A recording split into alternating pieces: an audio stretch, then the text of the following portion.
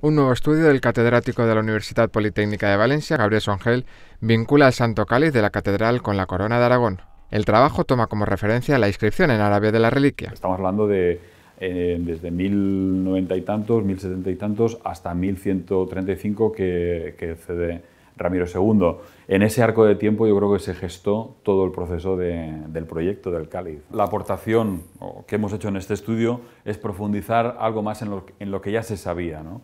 y en todo caso darle un sentido, además unitario, a todas esas simbologías. ¿no?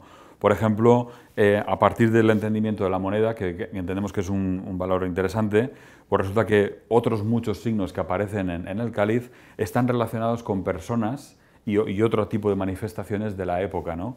Por ejemplo, de uno de los hijos de Sancho Ramírez fue eh, Pedro I, que firmaba en, árabe. Era una transliteración de su nombre, pero con escritura árabe, lo cual nos, relacionaría con lo que interpretábamos en la escritura que podía ser de, dos lenguas diferentes, podía ser una transliteración. Extendiendo el estudio comparativo con otros objetos de la época, el análisis del profesor Songel repara en un signo identificador en las monedas que acuñaban los monarcas y que se repite en el Santo Cáliz. El hallazgo más importante surge de la coincidencia de las monedas que acuñó Sancho Ramírez estamos hablando por lo tanto del siglo XI, y el, extraordinario parecido en la estructura de lo que sería eh, lo que en la moneda de, Sancho Ramírez se conoce como el tronco de GC, es la estructura que se reproduce posteriormente en, el cáliz. Viene a coincidir eh, la idea de acuñar moneda como idea de asentar una dinastía, que no solamente se traslada a la moneda, sino también a las reliquias que eran propias de la, de la, realeza. Las dataciones cruzadas de las monedas, los documentos notariales y las pinturas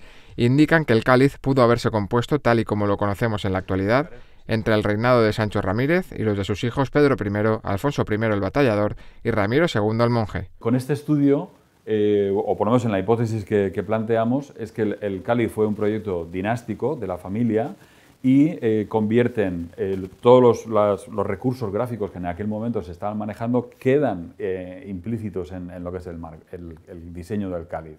Por lo tanto, el reflejo de los, discursos gráficos, sean firmas, sean decoraciones, eh, la propia estructura general con la simbología del, tronco de GC, indican que era, era un proyecto muy definido por, por la familia.